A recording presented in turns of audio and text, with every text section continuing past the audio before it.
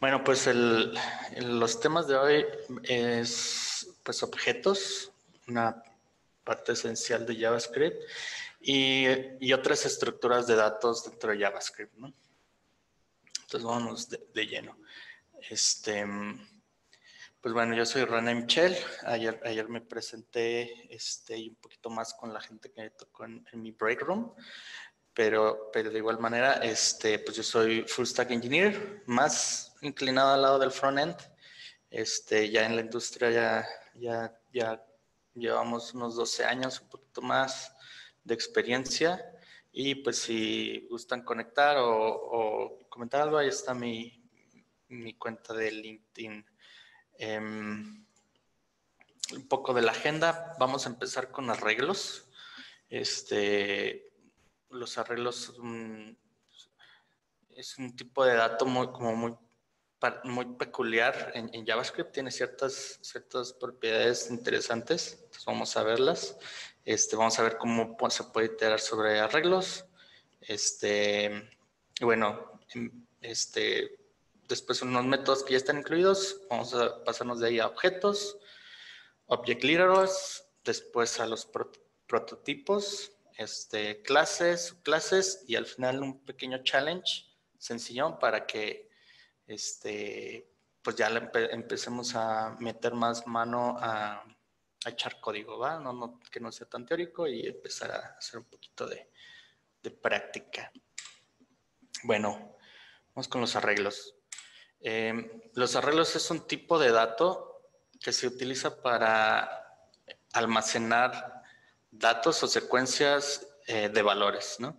Eh, en general, se busca que sean valores del mismo tipo, pero, o al menos en otros lenguajes, se, se forza que sean del mismo tipo, pero en JavaScript tenemos eh, pues esta propiedad que nos permite tener arreglos con diferentes tipos de datos, ¿no? O sea, podemos guardar cadenas junto con, con, números, junto con objetos, junto con otros arreglos y JavaScript no se va a, quejar, ¿no? Este, e, es buena práctica, obviamente, eh, sí mantener este, el mismo tipo de datos en un arreglo, eh, pero bueno, es bueno saber que tenemos esa posibilidad.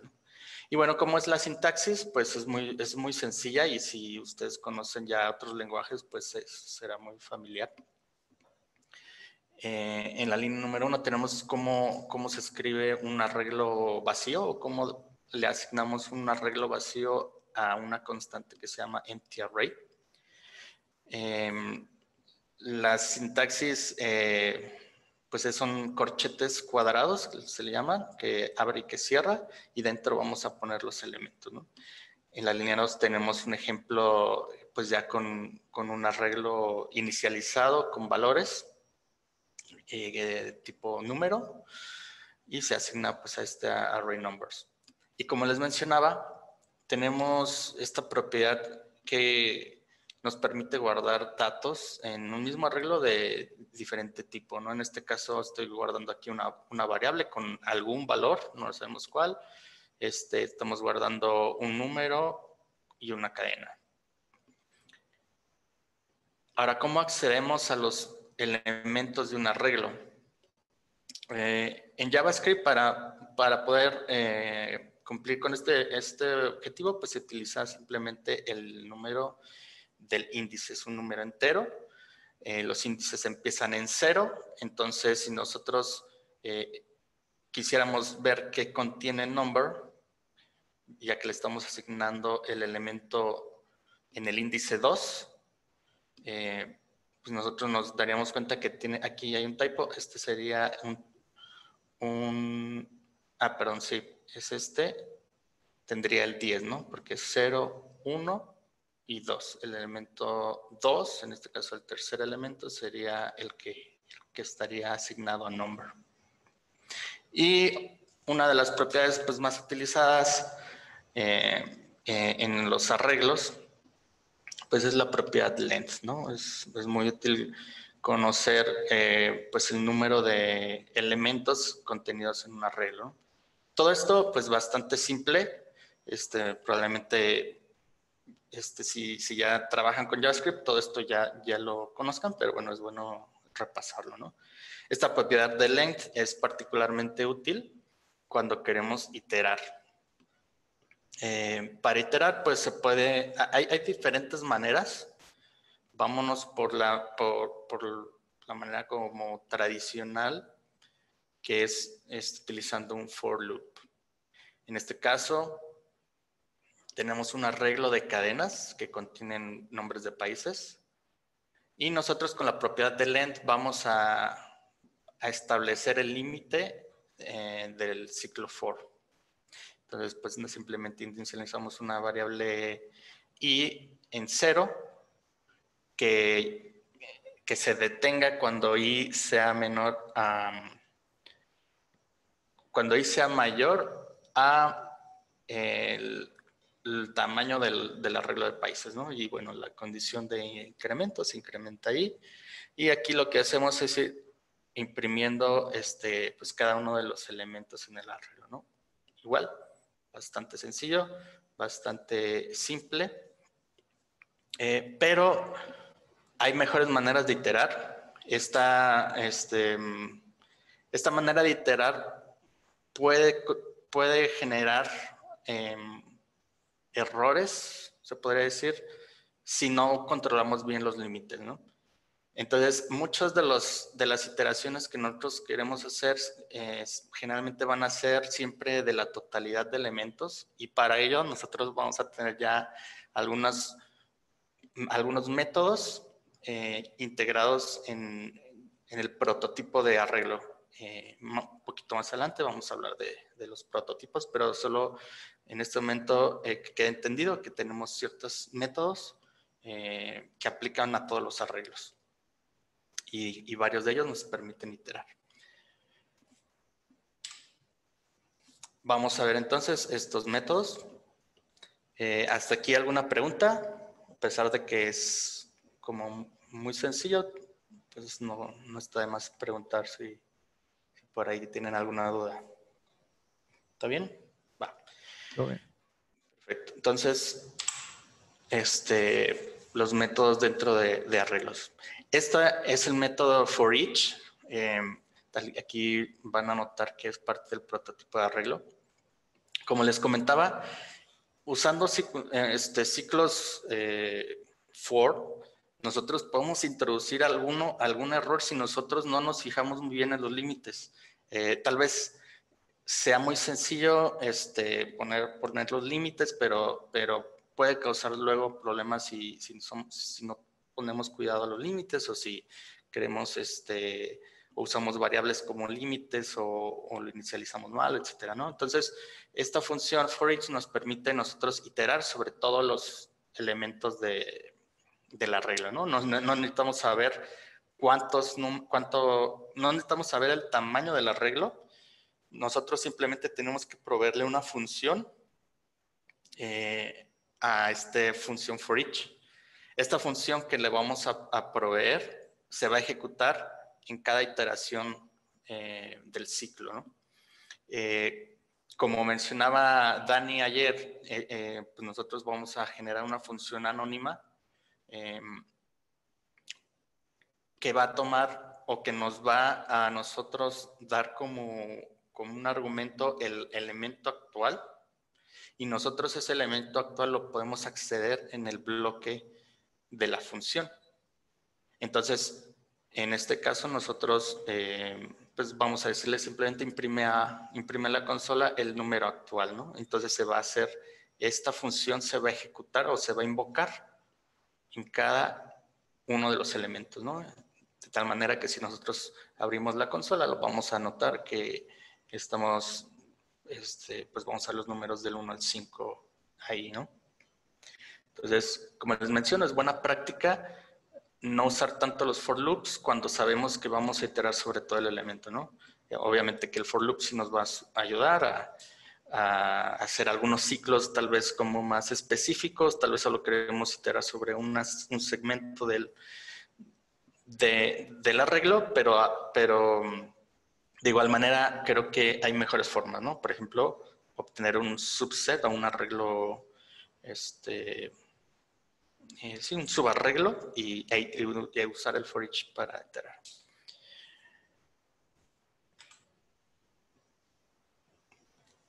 Después tenemos la función push. Eh, esta, esta función nos va a permitir agregar elementos al arreglo. Eh, una vez que nosotros inicializamos este, el, arreglo, la manera de agregar números al final del arreglo, en este caso después del 4, va a ser utilizando el método push. Eh, y pues, si nosotros imprimimos numbers, vamos a ver que tenemos 5 al final.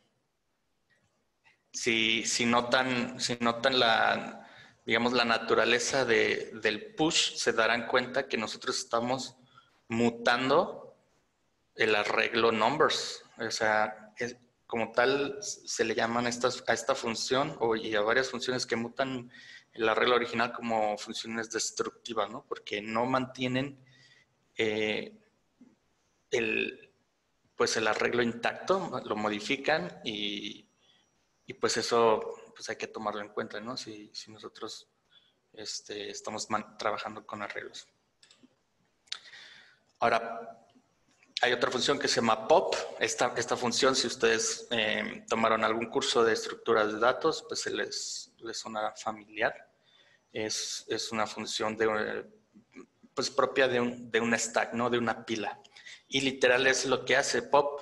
Lo que, lo que hace es, es revelar, o perdón, es em, remover el último elemento agregado al, arreglo, lo quita del arreglo y te lo regresa, ¿no? Entonces, en este caso, si nosotros a, a este arreglo de números le damos pop, nosotros vamos a remover el 4 porque fue el último elemento agregado. Lo vamos a asignar a pop number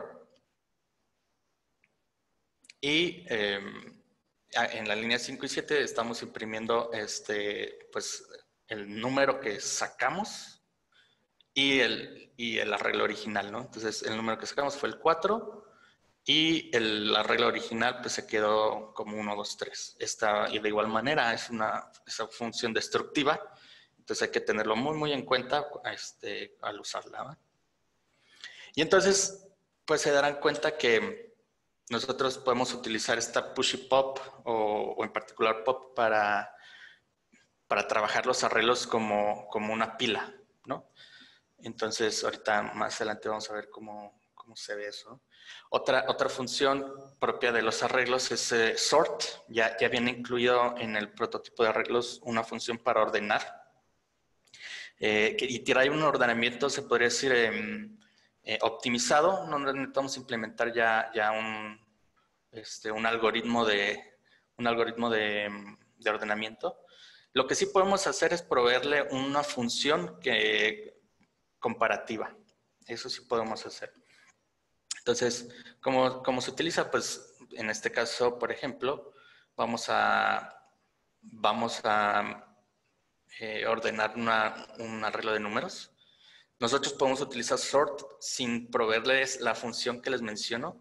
Eh, y, entonces lo que va a hacer sort es convertir todos los elementos a cadena y los va a ordenar eh, conforme, conforme a un, este, ¿cómo se llama? Una convención este, ya establecida, ¿no? En este caso, pues es simplemente de menor a mayor. Si nosotros imprimimos sorted numbers, este nos va, nos va a regresar el mismo arreglo ordenado. Igual, este, si se fijan, este sort no es destructivo.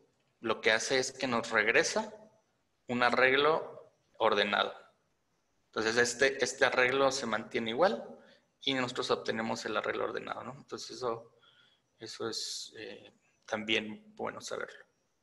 ¿Qué pasa con las cadenas? Bueno, con las cadenas, como les comentaba, podemos utilizar el sort también default y va a funcionar de igual manera, se va a ordenar de, A a la Z, este, o sea, de, menor a mayor, pero nosotros le podemos proveer una función eh, comparativa, ¿no? Y la, sintaxis de la función, o bueno, la, la definición de la función, pues es, eh, son, van a ser dos parámetros, A y B, y nosotros vamos a regresar, este, vamos a comparar A y B, y hay tres casos, permítanme comentárselo, ¿no? Si nosotros regresamos menor que cero, quiere decir que A va a tener eh, un índice menor a B, o sea, va, a venir primero la A. Si nosotros regresamos cero, no va a haber ningún cambio entre A y B, o sea, se van a mantener en la misma posición. Y si regresamos un número mayor a cero, quiere decir que, el valor de B va, va, a tener precedencia, ¿no? Eh, esa sería como la regla, la, regla de esta función de comparación. Entonces ustedes, como podrán notar, podrían agregar un, comparar entre, por ejemplo, objetos, ¿no? O, elementos más complejos. Pero en la práctica yo les puedo comentar que al menos en, los proyectos que yo he estado, eh, este sort muchas veces se, utiliza de maneras muy sencillas, ¿no? Simplemente este, ordenando de mayor a menor o, viceversa, que sería con otra función que se llama reverse.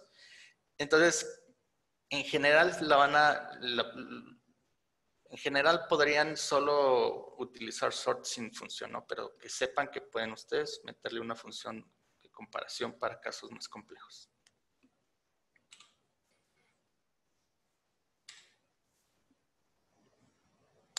Filter. Esta función eh, nos permite filtrar, literal, como menciona, como se llama la función, filtrar em, elementos de un arreglo, ¿no? En este caso, nosotros, eh, en este ejemplo, pues queremos obtener los números eh, nones y pues para, para, hacer eso tenemos que filtrar eh, los, o remover los, los números pares, ¿cierto? Entonces, nosotros vamos a proveerle a esta función filter otra función que va a ser la... E, estas funciones de filter, filter y, otras que, vamos a ver más adelante son funciones que se le llaman predicado, ¿no? Que es, y que es un predicado simplemente es, es una... Em, se puede decir, algo que se puede decir del sujeto, ¿no? No sé si recuerden las clases de español, el sujeto y predicado. Entonces, el predicado es algo que se puede decir del sujeto. En este caso es algo que se puede decir de, del elemento actual, ¿no? En este caso, nosotros estamos este, simplemente filtrando. Ah, y bueno, ¿qué es, ¿cómo se filtra? Pues nosotros vamos a regresar un, eh, todos los elementos que estén en que sean en verdadero se van a filtrar. En este caso, este, perdón, que estén en verdadero se van a mantener en el arreglo y los que y los no, cuando nosotros hacemos un falso se van a filtrar del, arreglo. En este caso nosotros estamos regresando, eh, estamos haciendo una operación módulo, ¿no? Entonces, eh, el, número actual módulo 2 este, no, nos va a regresar un cero para números pares, ¿cierto? Y para números pares em, nos va a regresar un cero, entonces el cero en JavaScript es un, se puede decir un valor falsy, eh, entonces este, este valor cero, esta función o el filtro lo va a considerar como un falso, ¿no? Simplemente. Em, en JavaScript hay, valores falsy y trudy, se le pueden llamar. Los falsy son, sería cero, sería null, eh, undefined y, y una, cadena vacía. Esos serían los falsy. Los trudy serían todos los demás, ¿no? Un valor, un valor diferente al cero o un valor este, que exista, ¿no? Una regla que, un, arreglo con elementos, un objeto, etcétera, etcétera. Entonces, en este caso, como estamos, como estamos eh, sacándole el módulo, a, módulo 2 al elemento actual, pues en, el 2 y en el 4, esto va a regresar un 0, es un, es un valor false y, se va a remover de la lista. Si nosotros imprimimos odd numbers, nos va a imprimir los números impares. Em, ¿Alguna pregunta hasta aquí? Son, son funciones básicas que son bastante útiles en, en el día a día y hay, hay veces que de verdad hay, hay, programadores que las desconocen. No, no estoy diciendo que sean malos programadores, ni mucho menos, simplemente las desconocen, entonces se avientan a mano un ciclo for con, con una comparación y empiezan a eliminar elementos de, del arreglo, digamos, a, patín. Entonces es bueno conocer estas eh, funciones. Ah, ¿cuáles son las operaciones módulo? Ok, las operaciones módulo simplemente te da el residuo, hace una división y el residuo es lo que se calcula aquí. Entonces, por ejemplo, 2 entre 2 no tiene residuo, este, entonces es un 0.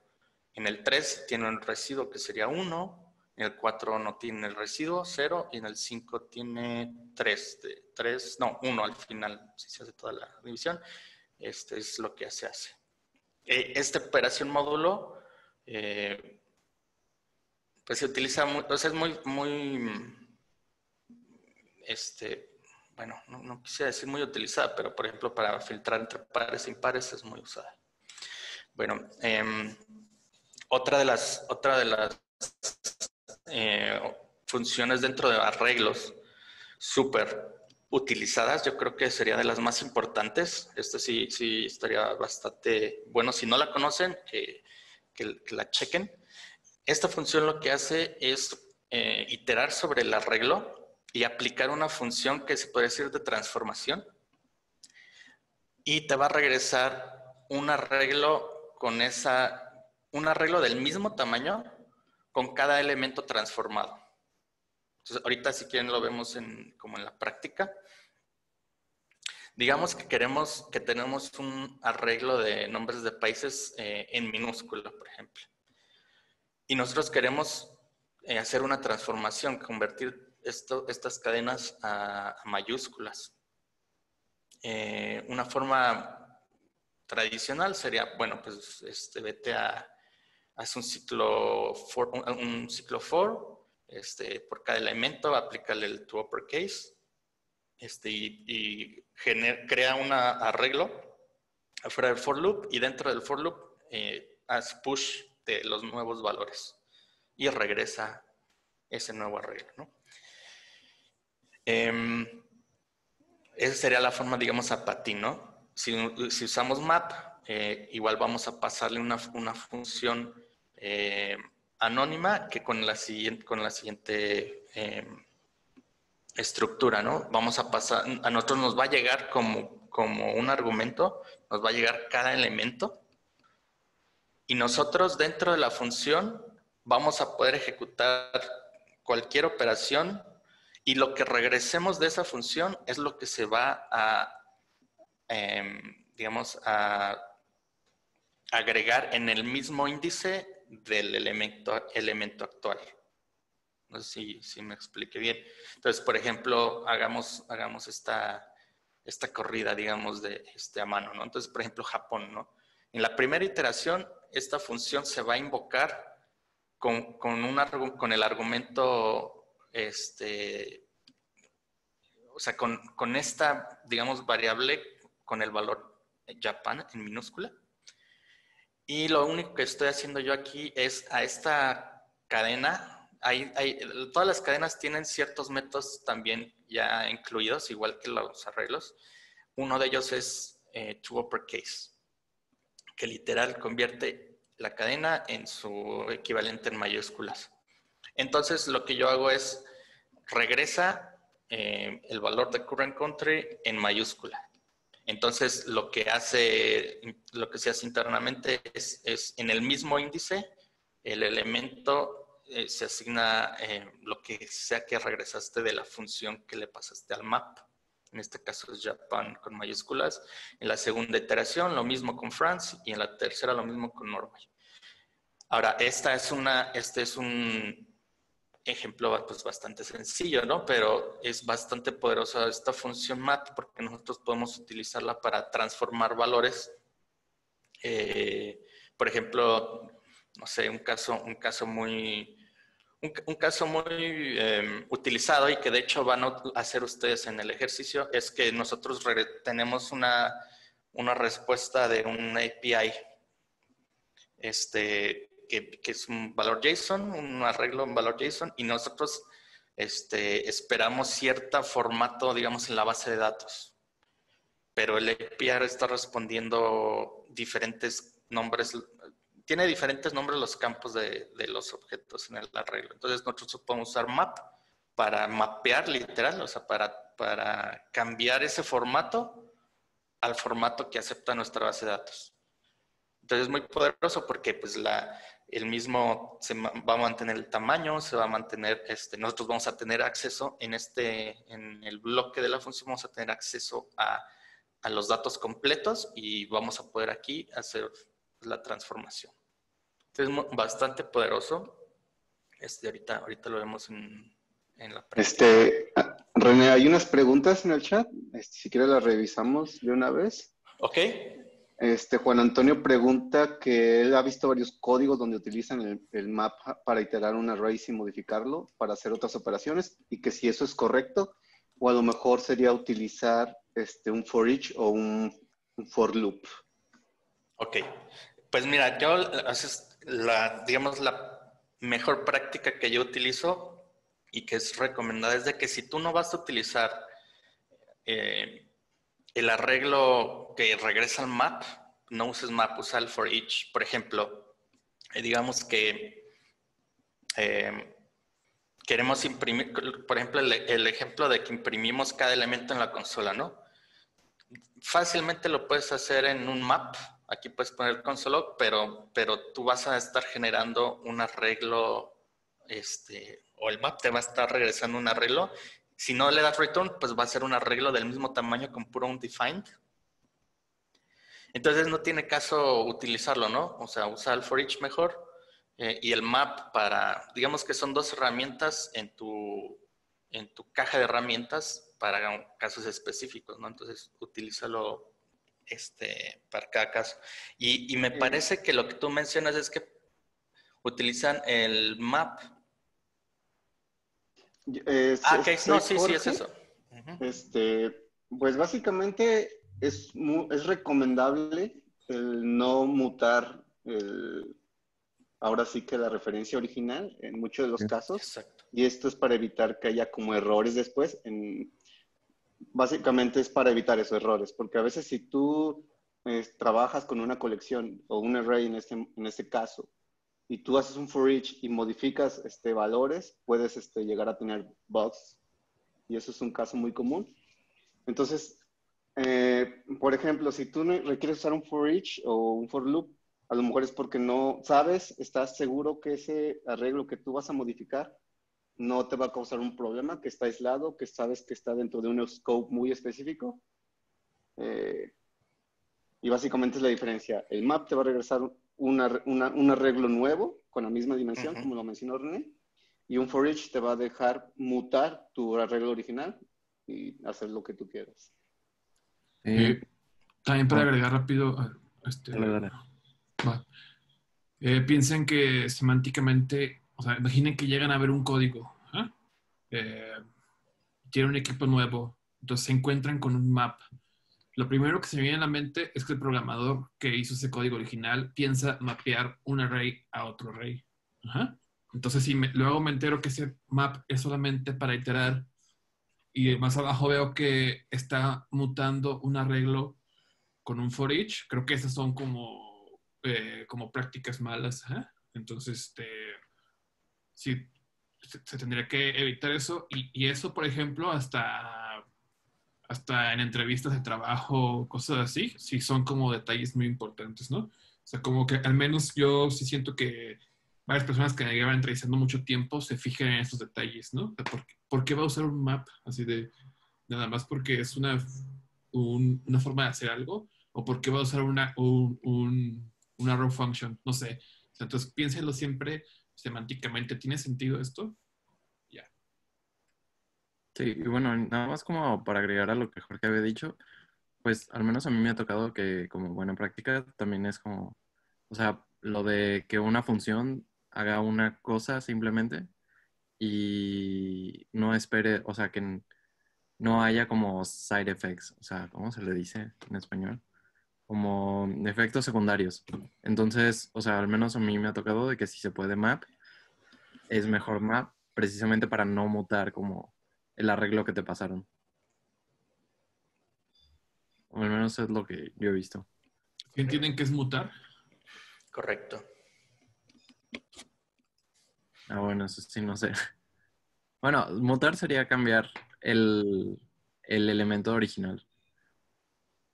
Prácticamente es eso. O sea, cambiar algo. Y, algo... y de hecho, yo les puedo, perdón por interrumpirte, Alexis. Eh, yo he visto muchos errores, muchos bugs muy difíciles de, de depurar eh, cuando nosotros mutamos los este, arreglos originales, ¿no? Tal vez, ahorita el ejemplo pues es muy sencillo, ¿no? Pero cuando ya estamos trabajando con, con cosas más complejas y nosotros, digamos, eh, estamos iterando, e, e incluso este, escuchado gente que quiere borrar un elemento dentro de un for, este, lo cual puede causar problemas, ¿no? Entonces he visto unos bugs que son particularmente difíciles de depurar por, por mutar los elementos en vez de generar este o en vez de iterarlos de, la manera correcta o, usar funciones no destructivas como en el caso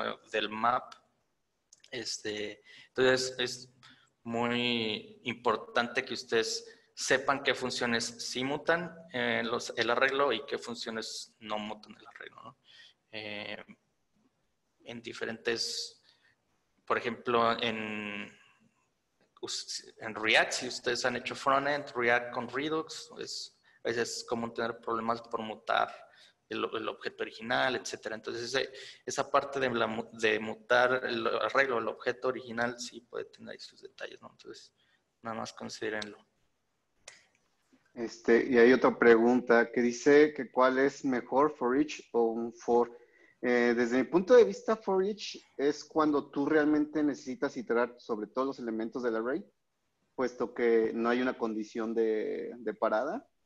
Y un for, eh, un for loop es más cuando realmente tienes un caso en específico donde puedes interrumpir la iteración de ese, de ese arreglo.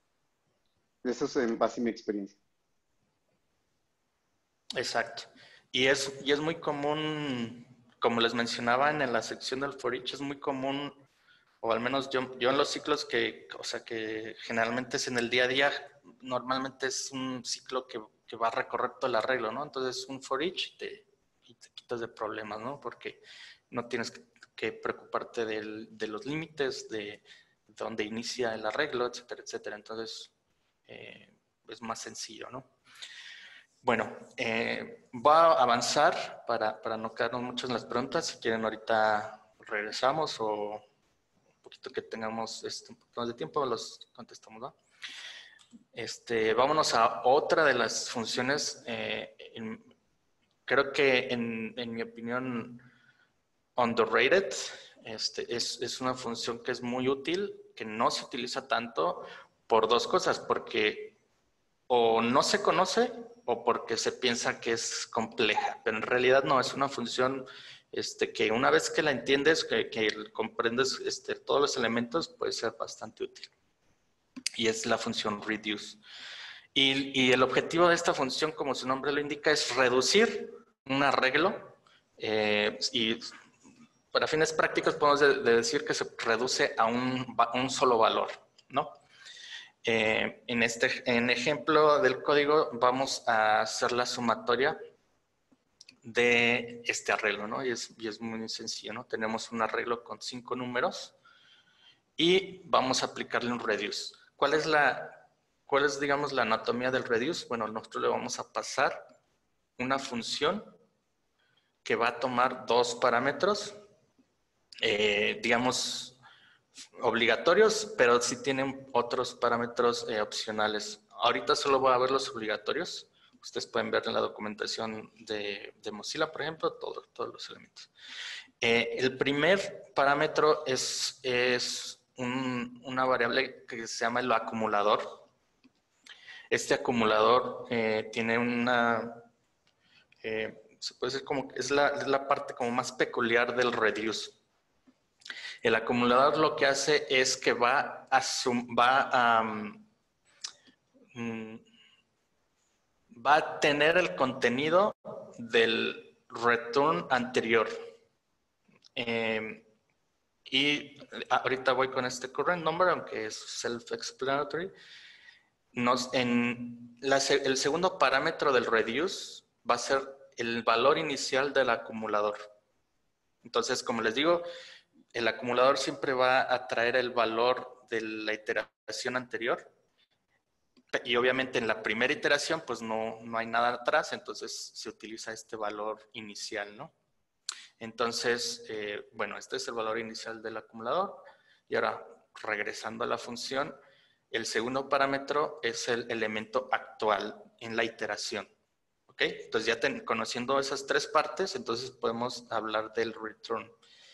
Para, para poder eh, obtener la sumatoria de este arreglo, nosotros pues simplemente estamos, tenemos que sumarle 1 a 2, luego esa suma se la sumamos a 3, luego esa suma se la sumamos a 4 y luego esa suma se la sumamos a 5 y regresamos y al final se detiene eh, las iteraciones y el contenido del acumulador o el contenido final es el que se regresa en, eh, en la función reduce, ¿no? que en este caso se asigna a la constante result.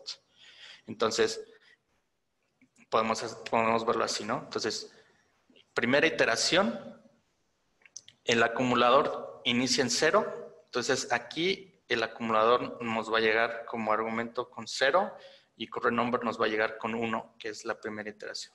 Cero más uno nos regresa uno.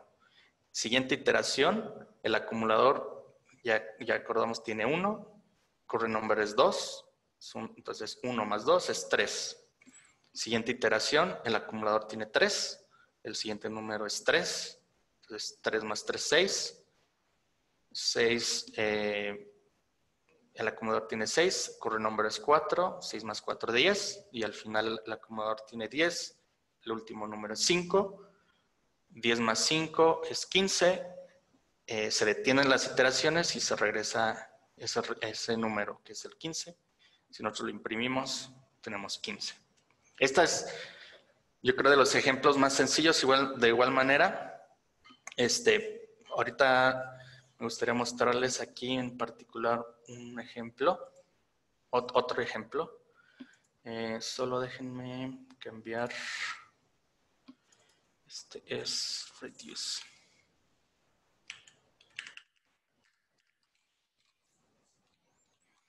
Entonces, por ejemplo, si nosotros nos vamos a a este reduce, podemos utilizar reduce para obtener el número mínimo, ¿no? Entonces, como dice Chava, como muy bien dijo Chava, hay que eh, utilizar, hay que hacer como buen uso de la semántica. Entonces, eh, tú puedes obtener el mínimo haciendo un for loop, puedes obtenerlo haciendo un for each, eh, un map, no, definitivamente no con un map, pero como nosotros queremos reducir este, este arreglo a, solo un número, pues creo que semánticamente hace más sentido que usemos un reduce, ¿no? Entonces, nosotros podemos darle un const minimum o min, si gustan. le vamos a dar values reduce. Y a mí me gusta primero empezar con el valor inicial. En este caso podemos poner un pues valor muy grande, nada más como para ejemplo. Y bueno, no, pues de hecho podemos poner el cero. Al final lo que vamos a ir traqueando es el mínimo, ¿no? Uh, ok, no, sí, Entonces vamos a poner el acumulador y el current number. Si se fijan, aquí esta herramienta Code Sandbox nos, nos da los otros valores que tenemos, que es el índice actual. Si por alguna razón necesitamos el índice, eh, lo podemos obtener. Y el arreglo, este aquí no recuerdo qué es, ahorita lo, lo, podemos checar. Entonces, por ejemplo, aquí este, podemos regresar a hacer una comparación. Por ejemplo, si el acumulador es menor a current number, entonces vamos a regresar eh, el mismo acumulador. Si no, vamos a regresar number. Em, si no me equivoco, esto nos va a regresar el número menor. Ajá. Entonces, si se fijan, utilizamos la función reduce para literal reducir nuestro arreglo a, un solo valor, que es en este caso el mínimo, ¿no? Esta función inclusive este, pueden extraerla y pasársela como función para poder reutilizarla en el futuro, ¿no?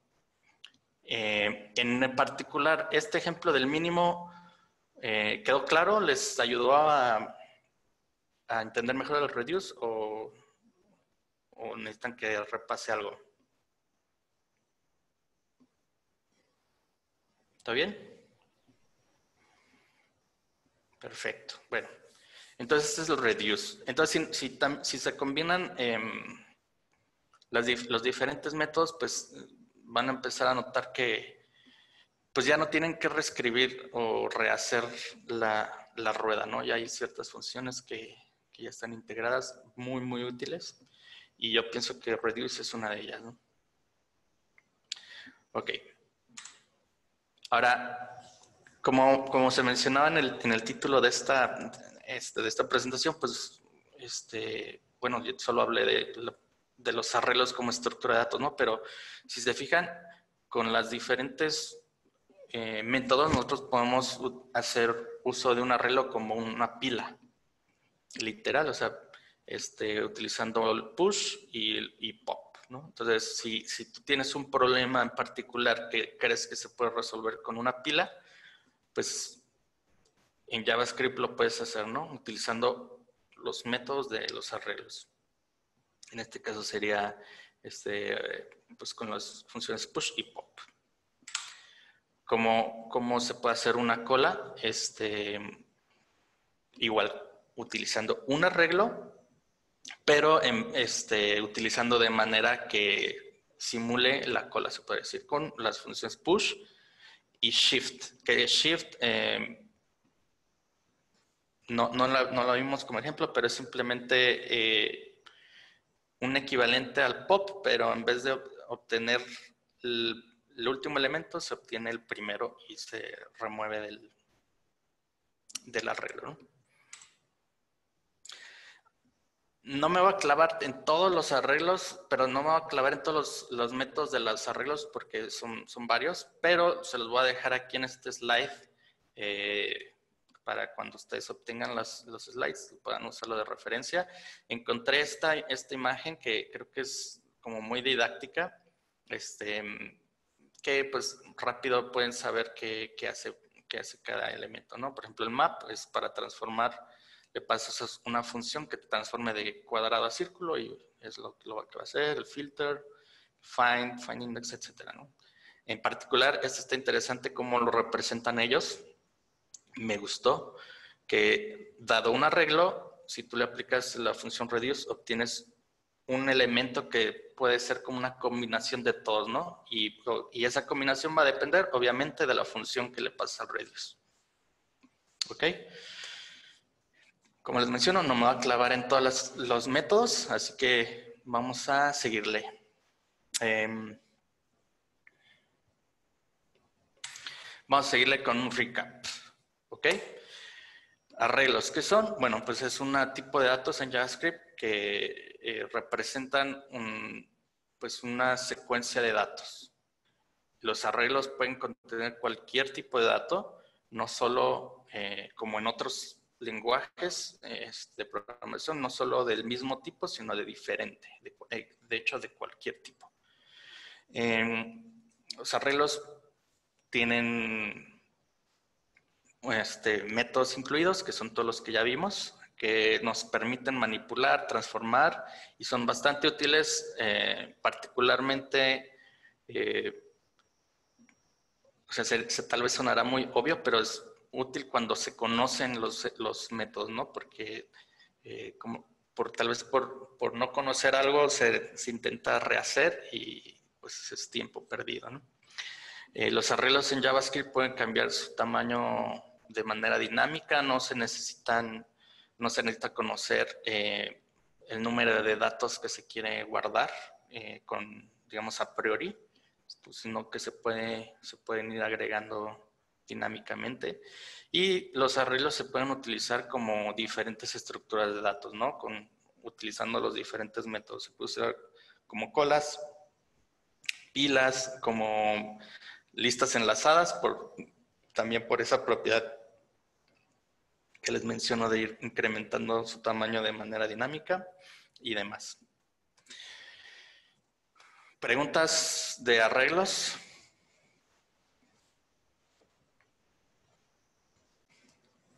¿No?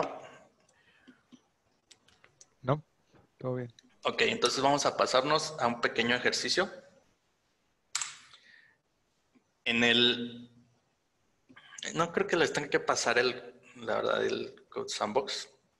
En la consola o en el editor que ustedes gusten, háganlo. Este, y voy a agarrar a alguien al azar, o sea que no me, no me vayan a no me vayan a querer engañar. Voy a agarrar a alguien al azar para que me explique cómo lo resolvió. Entonces, por favor, todos resuélvanlo. Es un challenge muy sencillo, pero para empezar a, hacer un poquito de código y no estar tan estáticos, ¿va? el challenge simplemente es, dada una matriz, Ah, porque lo, como les comentaba, los arreglos pueden, pueden tener cualquier tipo de dato, incluyendo otros arreglos, ¿no? Y si ustedes le agregan un arreglo a otro arreglo, pues se pueden generar matrices de, este, pues una, una matriz, ¿no? En este caso, dado, dado una matriz m por n, conviértanla en un arreglo, sí, en un arreglo de una sola dimensión, ¿no? sería como el flattening que, que se llama. Entonces tenemos, esto si lo ven como matriz, pues sería una matriz 3 por 3 y lo que queremos es, es obtener un arreglo que de tamaño 9, ¿no? Que sería tamaño m por n. Entonces, hay diferentes formas de hacerlo. Adelante. Les voy a, voy cronometrar unos tres minutos, tres, cuatro minutos y va a elegir a alguien al azar, así que estén advertidos.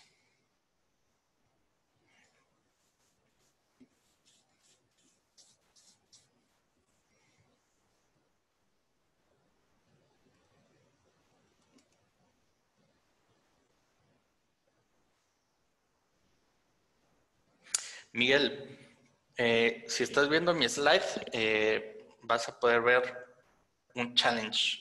Y es un simple ejercicio de código que es utilizando los métodos que ya vimos, convertir una matriz M por N en un arreglo de una dimensión con tamaño M por N.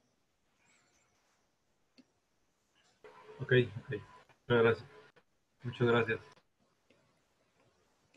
Entonces, creo que tres, cuatro minutitos es más que suficiente para hacerlo.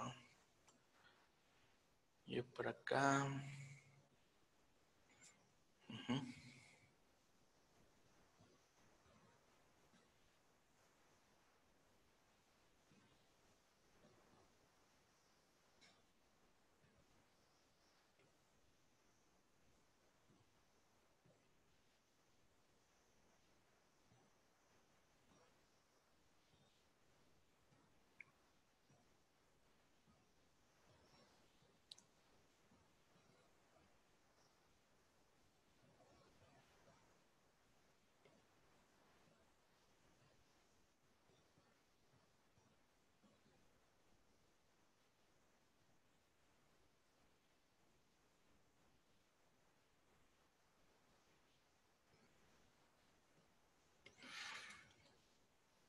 Tal vez les puede servir, me, faltó, bueno, fue una de las que mencioné, pero no lo, no lo, no lo vimos. Hay, una, hay un método que se llama concat. Nosotros podemos hacer esto. Y si nosotros le damos numbers.concat 45,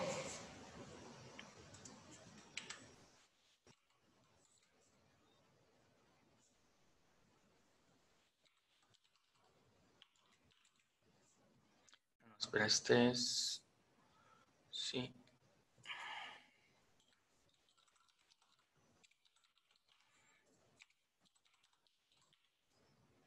Déjenme cambio esto.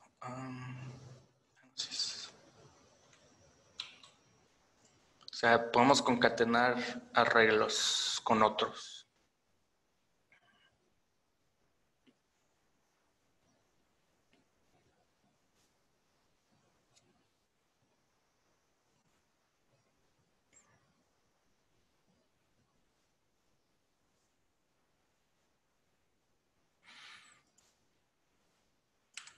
Entonces, a ver, déjenme ver si puedo sacar un one-liner. Reduce.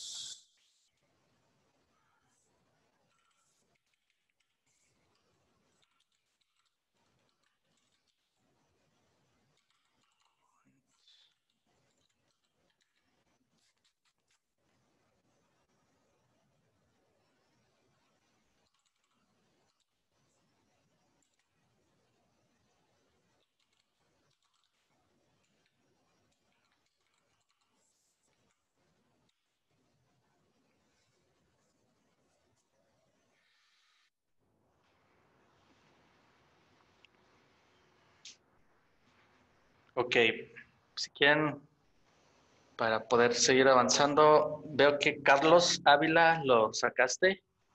Este, ¿Nos puedes comentar cómo lo hiciste? Eh, sí. Bueno, antes que nada, eh, yo soy Pythonero y más o menos traté de, de asimilar el código de JavaScript en, bueno, JavaScript como si fuera Python. Ok. Eh, como tenemos una matriz que, tiene tres arreglos, lo primero que hice fue eh, iterarla con un for each y dentro del for each iteré cada matriz individual con otro for each y creé una lista donde le fui haciendo push por cada elemento que iba iterando. Ok, ok, ya veo. O sea, hiciste como un, o sea, un for anidado, ¿no? Un for anidado. Un for dentro de otro for. Ok, es. una forma de hacerlo. Eh, yo lo resolví con reduce, nada más como para igual tener otro ejemplo del reduce. Si, si, si ven por ahí mi pantalla, eh, van a, este, chequen cómo lo hice yo, ¿no? Yo inicializo el reduce con un arreglo vacío, que es el arreglo, digamos, del, del resultado final. Y lo que estoy haciendo es de que en cada iteración el acumulador se concatene con el arreglo actual. Y, listo. Entonces, por ejemplo, en la primera iteración este, del, de, la, de la matriz, o sea, en el primer elemento de la matriz, que sería este arreglo completo, pues le voy a concatenar a este arreglo vacío, le voy a concatenar el 1, 2, 3. Ajá. Y como lo estoy regresando en el reduce, ahora en, el, en la segunda iteración el acumulador va a tener, este, va a tener literal 1, 2, 3, ¿no? Entonces a 1, 2, 3 le concateno 4, 5, 6 y lo regreso. Y en la última iteración va a tener 1, 2, 3, 4, 5, 6. Le concateno 7, 8, 9 y eso es el que regresa. Y aquí está en la consola. Eh, la respuesta. Y pregunta, si fuera un string, ¿te concatenaría la... o sea, eh, ¿te generaría un solo string, por ejemplo? Eh, para concatenar cadenas no se utiliza esta función. Esta función concat es, es específica de los arreglos. Ah, ok. Para concatenar cadenas es con el signo más o, bueno, con los string literals, este, también se puede concatenar por ahí. Em, Pero esta concat en particular es, es parte de las funciones. De hecho, déjenme ver si están... Eh, sí, aquí se las puse, concat. Está de los métodos que, que, no, va, que no iba a tocar, pero, pero que sí vale la pena que ustedes lo revisen por su cuenta. va. A ver, por ahí estoy viendo cómo lo resolvieron. Ajá, sí, el, de Juan Antonio está más bonito con, con arrow function, más, más compacto. Mario, eh, Mario es trampas, los mentores no, no hay que hacerlo. Este, va, entonces, prosigamos. Este, creo que andamos bien de tiempo. Um, voy, a, voy a seguir ya ahora con objetos, todo, el tema de objetos que es bastante, pues básicamente es del core de JavaScript, ¿no? Em, vamos, a, vamos a iniciar.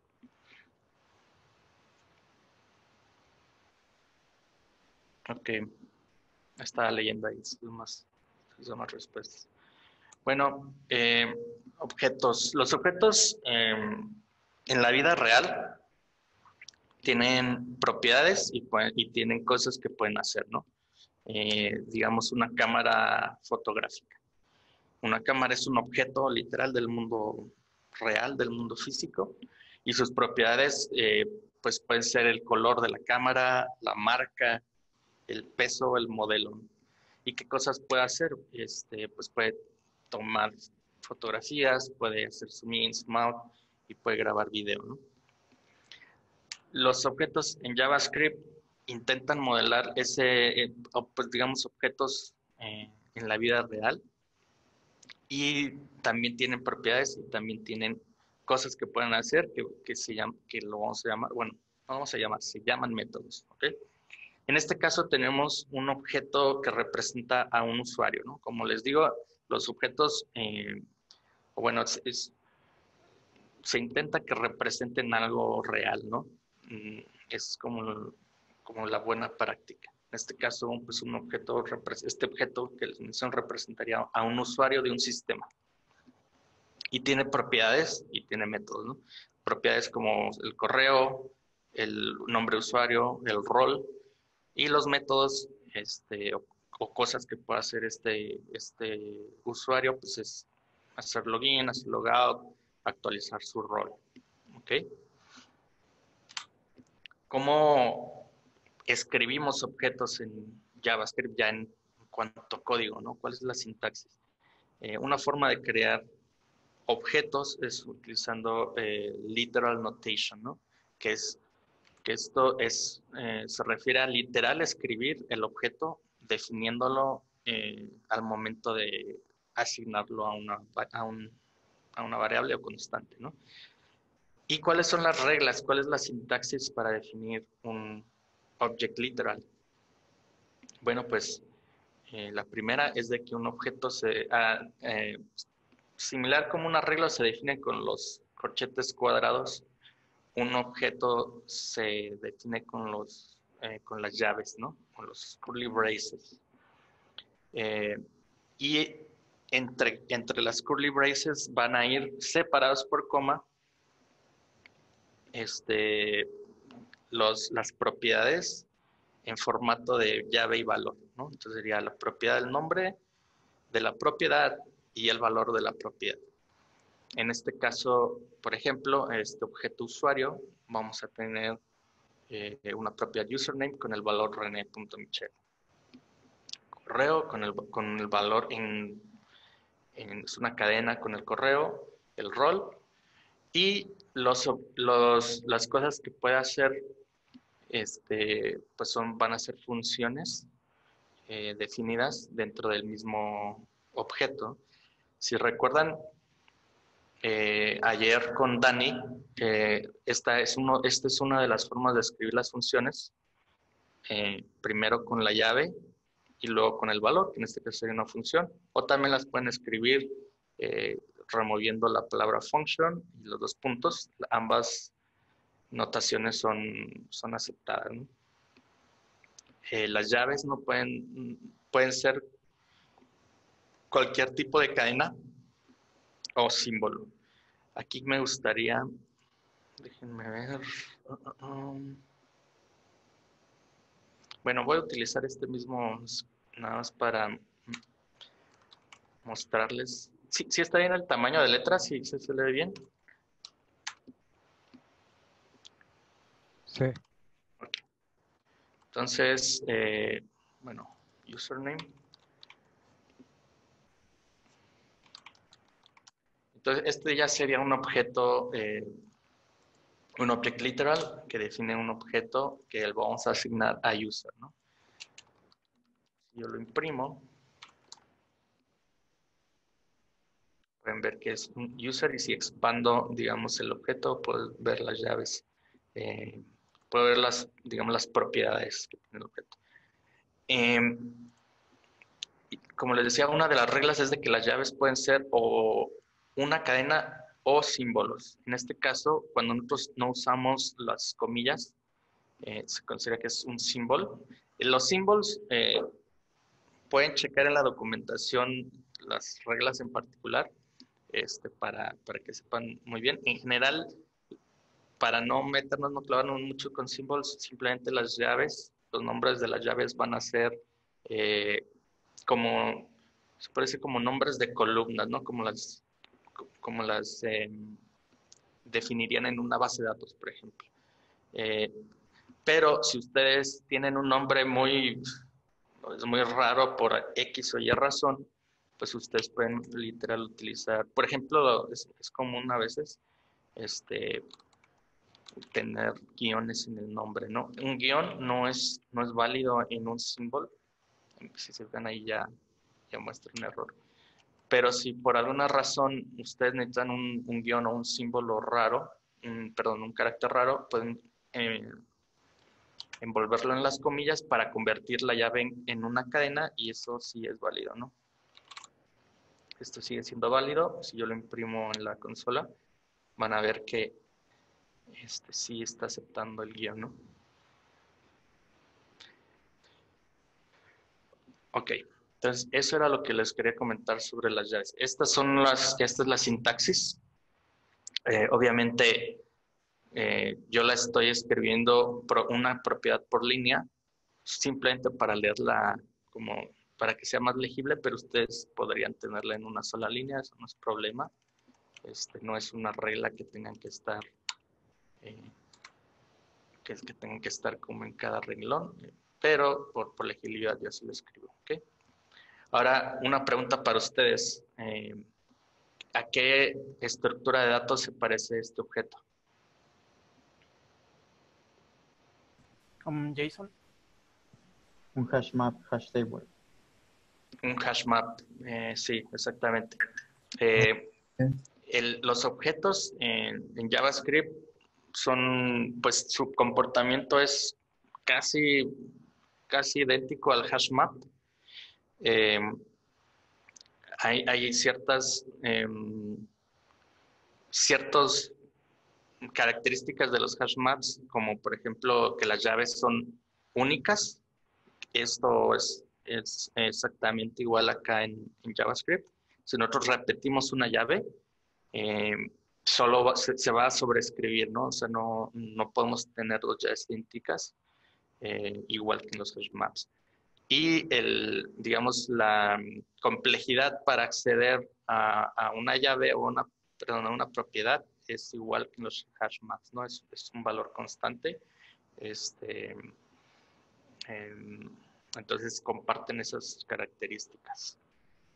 O en otros lenguajes también conocido como diccionario, pues bueno, un diccionario hashmap uh, es este comportamiento idéntico o casi igual a, los objects de JavaScript y ustedes los pueden utilizar en el día a día, literal, como, como diccionario. Em, y bueno,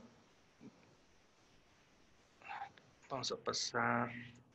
Ahora, ¿cómo podemos acceder nosotros a los, digamos, a los valores? Pues tenemos dos formas de hacerlo. Uno se llama eh, la notación punto, dot notation, nosotros vamos a utilizar el nombre del objeto eh, bueno, el nombre de la variable del objeto, en este caso user, punto, eh, y el nombre de la llave. En este caso, por ejemplo, email. O sea, imprimir René Michel, ¿no? Que sería este valor. Y la otra notación se llama bracket notation o notación de llaves, donde nosotros vamos a utilizar, así parecido como accedemos a un elemento de un arreglo, pero en vez de utilizar el índice, vamos a utilizar en, un, en formato de cadena el nombre de la llave de la propiedad, ¿no? En este caso, username. Ajá. Esto nos va a revisar el valor de username.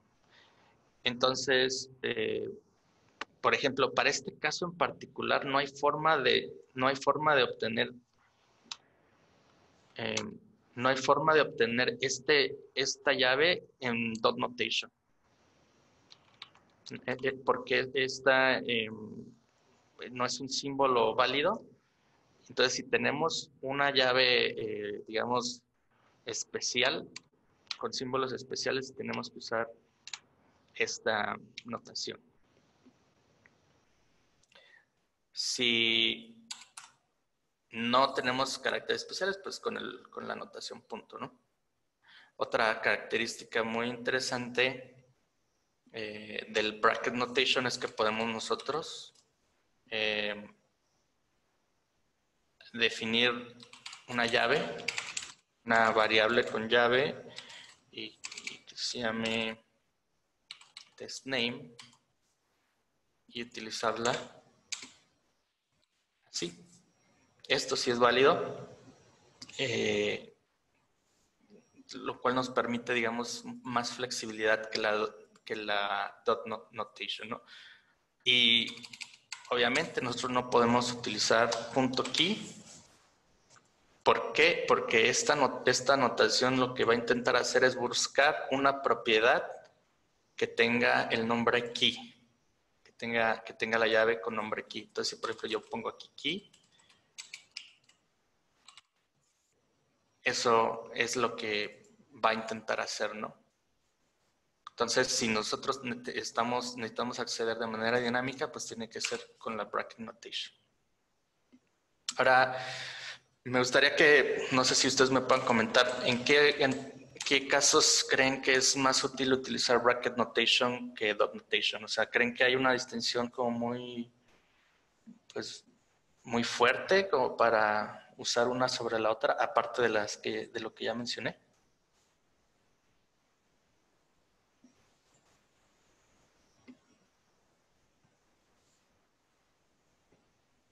No, ya los perdí. Pues si haces una petición de tu API y no conoces en totalidad los campos, pero quieres recorrerlos en su totalidad, puedes hacer un for each de las key y ya lo puedes utilizar entre corchetes, no, perdón, entre, ¿cómo se llama? Sí, corchetes. cada una de las propiedades para obtener los valores.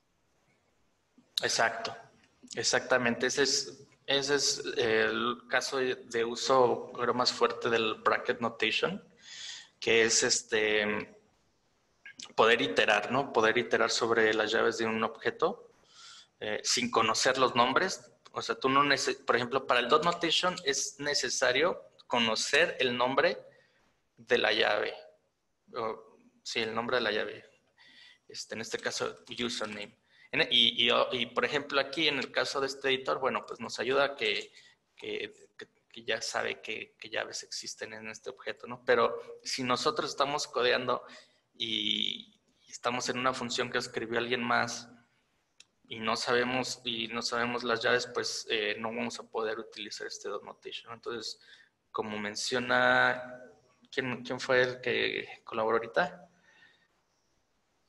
Yo, David.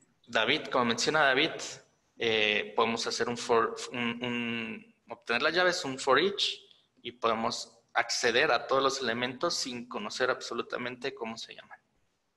Entonces ese sería como el principal uso eh, del break notation. Va, entonces esas son las dos formas de accederlos. Ahora,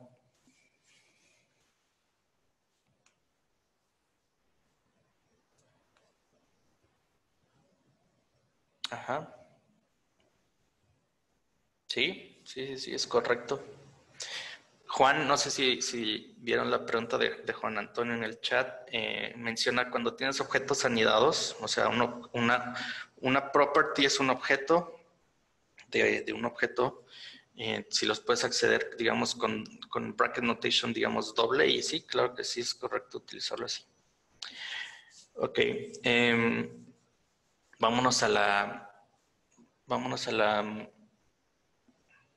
palabra clave this. Eh, en, la sesión pasada con Dani, ya tal vez ya, ya se vieron, se vio un poquito el DIS y obviamente si vienen de, otros lenguajes este, orientados a objetos, la palabra reservada DIS también este, existe allá, ¿no? Y se refiere a lo mismo, eh, en, puede ser como en, concepto. En, JavaScript en particular, eh, se refiere a, pues es una palabra que se refiere al, al objeto em, donde, bueno, déjenme refrasearlo. This solo va a existir dentro de las funciones eh, que son propiedades de un objeto, ¿cierto? Y this, dentro de esas funciones, va a hacer referencia al objeto donde está definida esa función. ¿Ok? Entonces, por ejemplo, en este object eh, usuario tenemos las funciones login, logout, logrole y logself.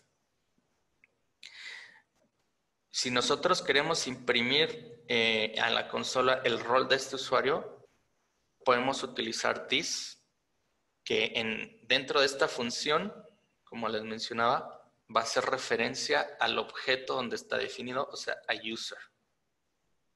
Entonces, esto sería equivalente a si ustedes acá en la línea 19 usarán user.role. ¿Ok? Si ustedes, por ejemplo, acá tengo otra función que es como logueame a mí mismo, pues simplemente console log de this. Esto va a imprimir todo el objeto, ¿no? Y eso lo podemos ver, mm, lo podemos ver más, con más a detalle acá en código. formato. Entonces, por ejemplo, si yo quiero, eh, digamos, log username, bueno, voy a poner get username. Ok.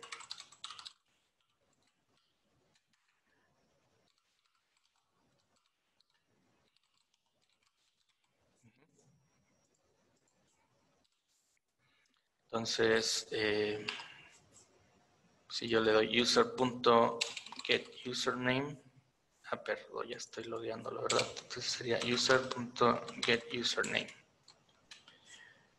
René.michel, ¿no?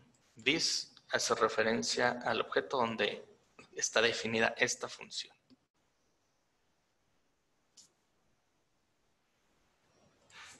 ¿Qué pasa si yo hago log self?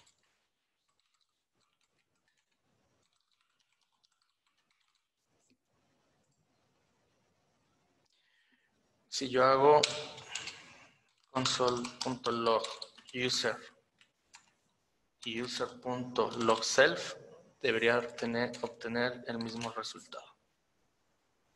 Si ven acá en la consola, es el mismo objeto.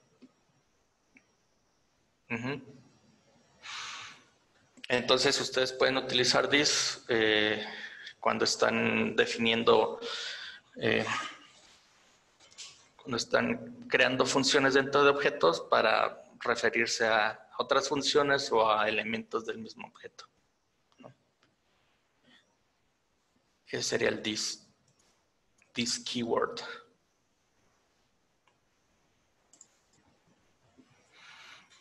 Ahora, esto pues ya empieza con el this. No sé si, tal vez estén, vengan de un background orientado a objetos objetos, pero ya con el DIS empieza como a vislumbrarse un poco, digamos, las características orientadas a objetos de JavaScript. Eh, y una forma para extender eh, los objetos es mediante el uso de prototypes. O el prototipo de un objeto. Eh, los prototipos, pues es un mecanismo en el cual JavaScript eh, permite heredar o permite compartir funcionalidad de un objeto a otro.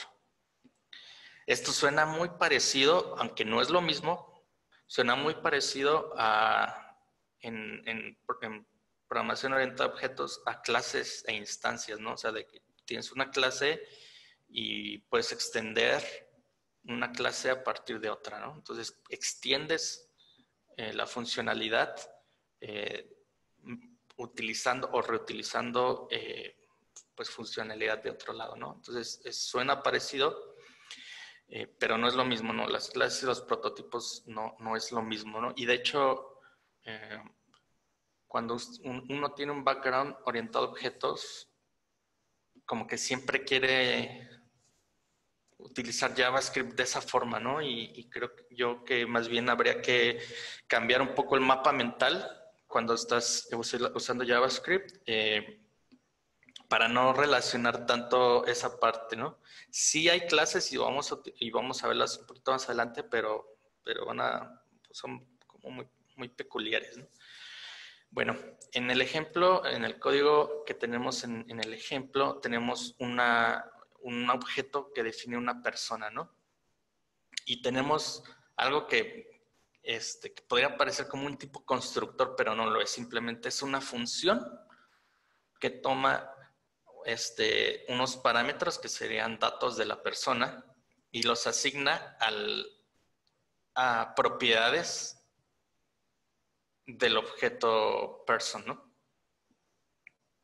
Por ejemplo, la edad que le pases aquí de, como argumento, pues se la vamos a asignar a la propiedad age con ese valor. Y género igual e intereses igual.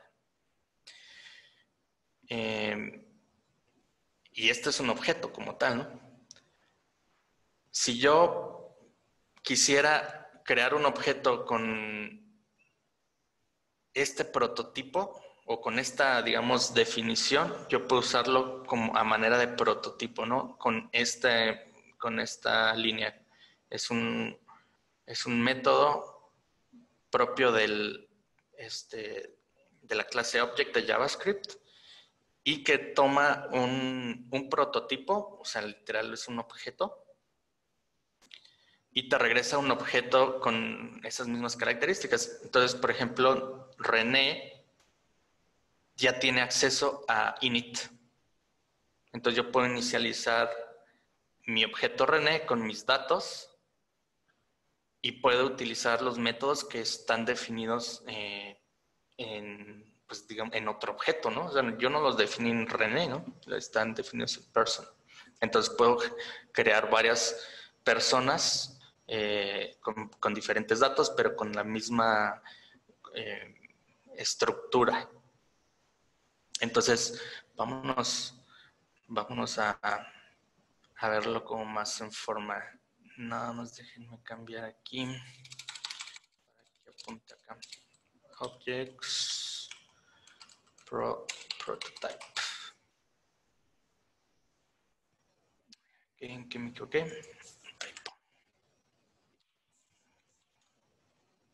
Perfecto. Entonces vamos a prototype. Entonces aquí tengo definido eh, el mismo snippet, ¿no? Entonces, déjenme que les comento un poquito esto. Entonces tenemos una función, esto es una función, este, ah, que de hecho, si se fijan, esta función también es, eh, pues puede ser eh, o sea, esta, hay, dos formas de hacerlo. aquí esta es con función. Me gustaría regresar al person inicial. Entonces, recordemos, era un objeto que tenía init, function, y vamos a copiar un poquito la función de abajo. Last name, age, gender, interests. Y lo que vamos a hacer es crear, aunque nosotros no definamos aquí una llave name con algo, nosotros al momento de estar, literal, estamos mutando dentro de esta función el objeto person, estamos creando aquí una propiedad name. Y aquí yo lo que quiero es generar, este, digamos, con, condensar en una misma llave eh, first, eh, first name y last name como lo tenemos abajo, para no tenerlas por separado. Esto es simplemente con el, con el único propósito de mostrarles que ustedes pueden este, crear nuevas propiedades dentro de las funciones si ustedes le asignan a this eh, un, nuevo, una nueva llave. Bueno, un nuevo valor. Eh, y los demás los mantenemos igual. Estamos, lo que estoy haciendo es simplemente obtener el, el argumento age, el valor, los, se lo asignamos a una llave age. This gender, escuela, gender, y this interest, podemos, lo que, lo que hago abajo es simplemente asignarle el mismo interest, pero ordenado alfabéticamente. Igual, simplemente con el propósito de mostrarles que podemos eh, que podemos modificar el valor eh, pues de la función y asignárselo a una nueva llave. Entonces, por ejemplo, pues nosotros podemos sin problemas loguear person. Y va a ser un, un objeto con una función init. Ajá. Ahora, yo puedo, digamos, no sé, Juanito, y ya tengo acá abajo René. Entonces, eh, como en el slide, podemos generar un nuevo objeto a partir de un prototipo utilizando object.create. Ajá. Y si se fijan en, en, la misma herramienta, nos dice que toma un objeto como, como parámetro. Entonces vamos a ponerle person. Entonces, Juanito ya va a tener las mismas características. Si se fijan aquí en la, en, la herramienta, pues nos autocompleta, ¿no? Entonces, si se fijan, yo tengo aquí em, los, pues, digamos, los, las características, aunque creo que aquí no me la está dando tan bien, pero bueno, eh, digamos name.first. Ah, bueno, ahorita no va a tener nada porque me falta inicializarlo, ¿cierto? Entonces vamos a darle init. Entonces vamos a ponerle Juan. Pérez. Luego nos pide el age, con el 21.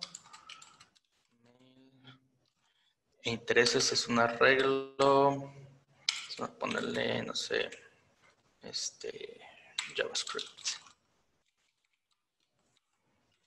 Y Python.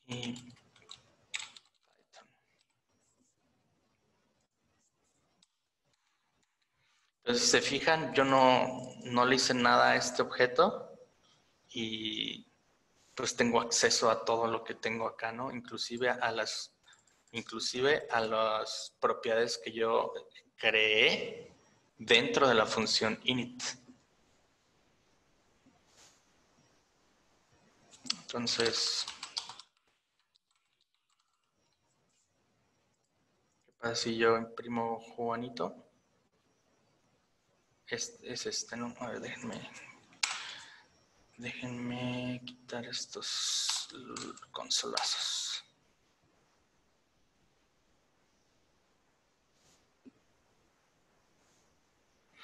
Entonces, si se fijan, eh, yo al imprimir eh, pues este objeto puedo ver todas las propiedades que tenemos que se crearon, ¿no? Name from first last, age, gender, interest. Entonces, pues como podrán eh, darse cuenta, pues podemos utilizar eh, pues el prototipo para ir extendiendo, este, se puede decir como modelos, ¿no? En este caso, pues es un objeto.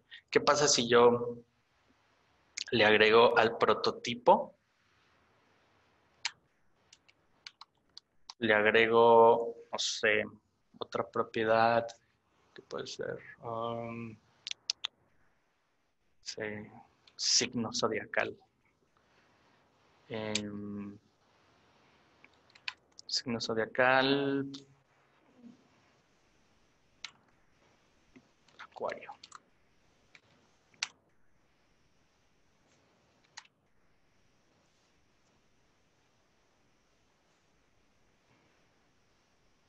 Espérenme.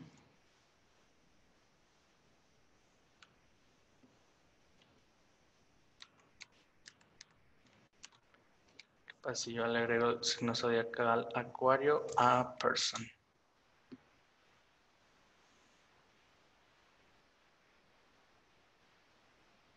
Person. Ah, caray.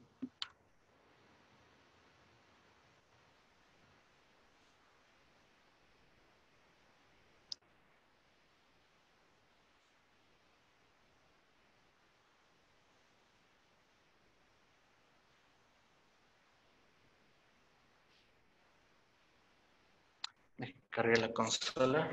Está un poquito arranada. Compu.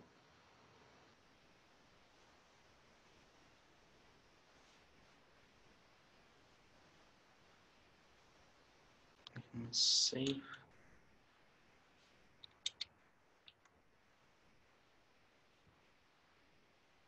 Bueno, no sé por qué no está imprimiendo acá.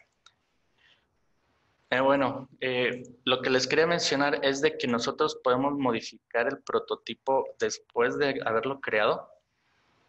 Digamos que nosotros tenemos ya una, una base de código eh, donde pues ya están generados, digamos, estos prototipos y por alguna razón nosotros querríamos agregar una nueva propiedad a todos los objetos en ese codebase creados con ese prototipo, em, pues podríamos agregarlo en, pues en, digamos, en otro lugar fuera de la misma Object Literal, ¿no?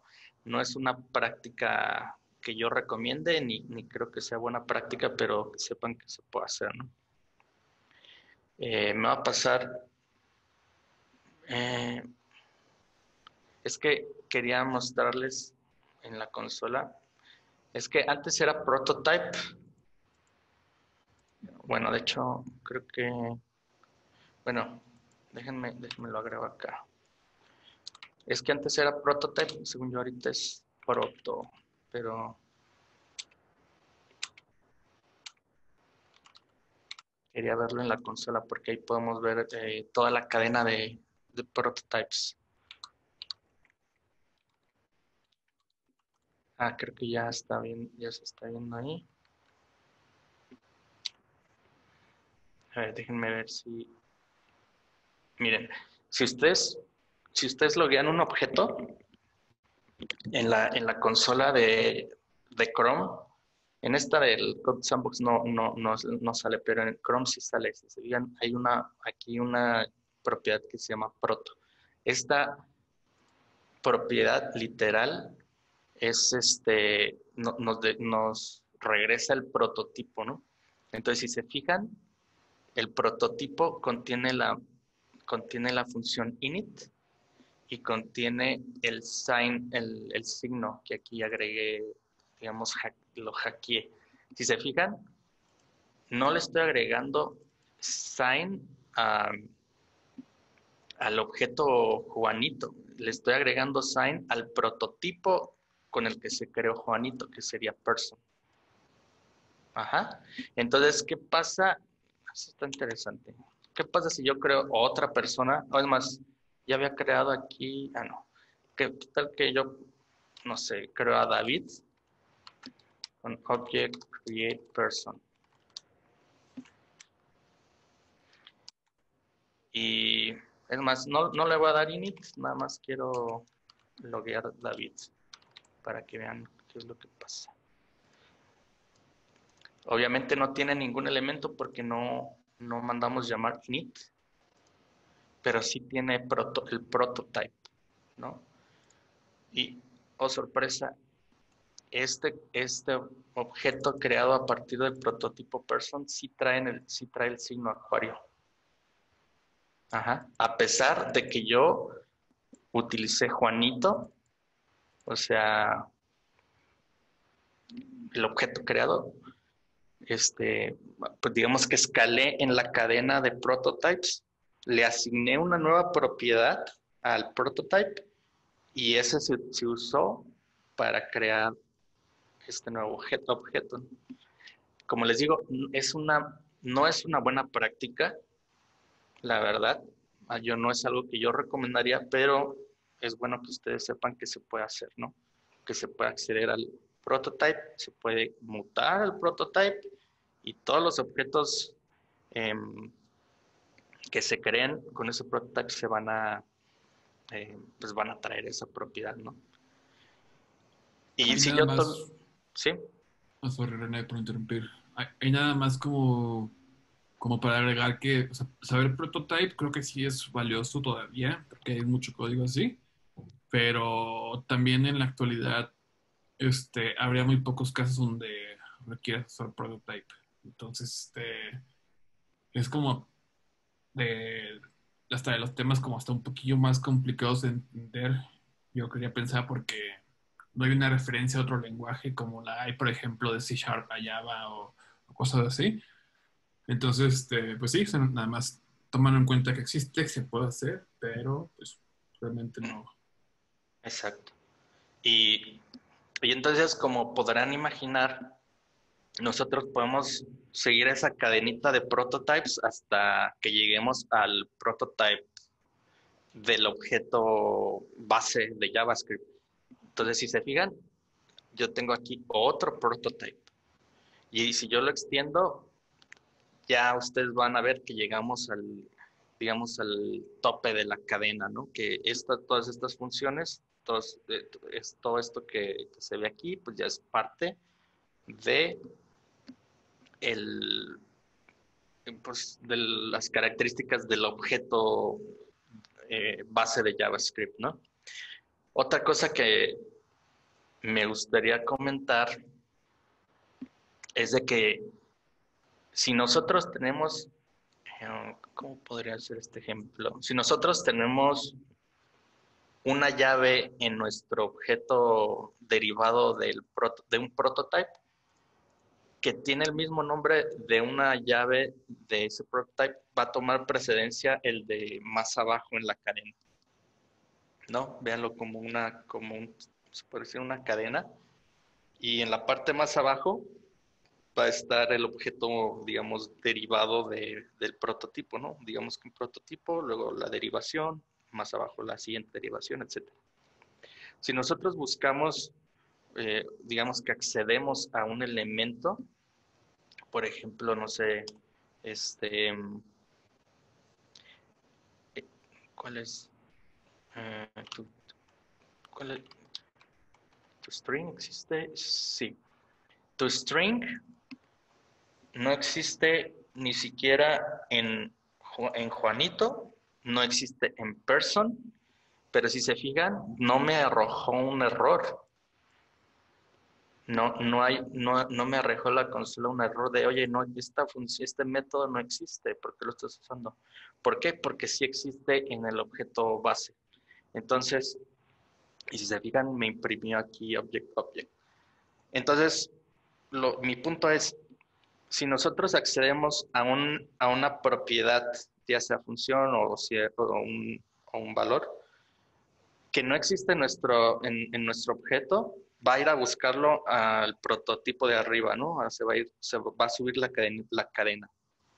Si no lo encuentra ahí, lo va a llevar a buscar al prototipo de arriba y así se va a ir hasta que llegue a la base, ¿no? Y si no lo encuentra, pues ahí sí te va a decir que no existe o, algo así, ¿no? Este, pero si sí existe en alguna parte de la cadena, se va a detener en el primer lugar donde lo encuentre. Ajá, o sea, puede existir en el prototipo una llave en, digamos, en dos niveles, se va a detener en el primero que encuentre de, digamos, de abajo hacia arriba. ¿Ok? Y pues creo que eso es lo que quería hablar de prototypes. Eh, acá como, esta es, esta es una, una forma también nueva de usar, este, de crear objetos basados en, en un prototipo con la palabra clave new. En este caso, se va a utilizar una función. Eh, en, vez de, de, hacer el objeto, va a ser una función que, si se fijan, es equivalente al init. Entonces, podríamos llamarla que es como una función constructora, pero en realidad funciona de la misma manera. Vamos a utilizar la palabra clave new. Eh, vamos a invocar o, hacer uso de la función con los argumentos que, lleva y esto nos va a generar una, una, un objeto con ese mismo prototipo. Entonces, déjenme imprimo acá René. Y si se fijan, aquí la única diferencia está interesante. Eh, déjenme quitar aquí el string es de que en la consola sí identifica el nombre de la, digamos, se puede decir, del prototipo padre como person. Pero todo lo demás es idéntico, ¿no? O sea, te, crea los elementos y, el prototipo pues va a ser el constructor, ¿no? Y si extendemos el prototipo, pues va, se va a ir al objeto, el prototipo de más arriba, ¿no? Son dos formas de hacerlo. Eh, esta última es una, digamos, forma más moderna, pero se obtiene este, pues, un resultado equivalente. Sí, todo es objeto en JavaScript, entonces es, bueno dominarlo. Eh, regresando a los slides. Eh, creo que es todo lo que quería mencionar de prototypes.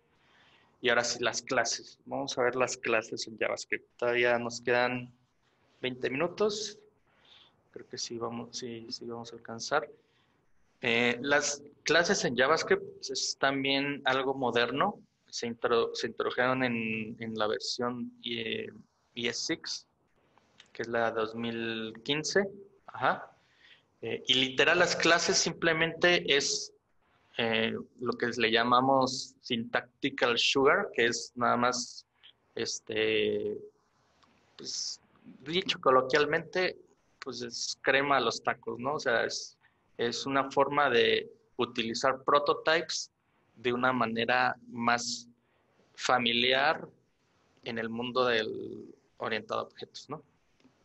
Eh, pero es, pero en, digamos, tras bambalinas, las clases simplemente utilizan el mecanismo del prototyping para generar esta herencia eh, y, e instanciación, ¿no? Entonces, pues la, sintaxis es, es muy parecida, cambian ciertas cositas, pero aquí la podemos ver, ¿no? Se utiliza la palabra reservada class después el nombre de la clase y aquí no, no se le asigna a ningún lado, más bien este, se abren las llaves, se abre un bloque de código en el cual se va a definir, este, se van a definir las, las propiedades o bueno, las eh, variables miembro y los, los métodos. Eh, y tiene particular este, un constructor, una función eh, constructora eh, a diferencia de Java u otros lenguajes, no, no, se no se permite tener varios constructores, solo uno. Eh, y si recuerdan el ejemplo anterior, pues nosotros definimos este, una función en la cual vamos a utilizar para asignar eh, esos valores a propiedades, a propiedades de esta clase o de objetos que vayan a ser generados a partir de esta clase. Entonces, este es lo mismo, se genera una propiedad name, con, que es un objeto con dos, con dos propiedades, otra con el edad, género e interés. Otra cosa interesante es de que podemos generar propiedades computadas, en este caso utilizando la palabra clave get, y pues es una función en la cual vamos a computar el, eh, digamos, el, nuevo valor, ¿no? En este caso queremos que los intereses eh, vengan ordenados de, de manera alfabética. Entonces, a esta función le damos un return de sort, ¿no?